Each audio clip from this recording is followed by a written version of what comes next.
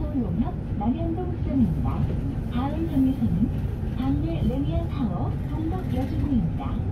레스토랜 남서울 농협. 사관역을 이용하실 분은 이번 정류소에서 하차해 주십시오.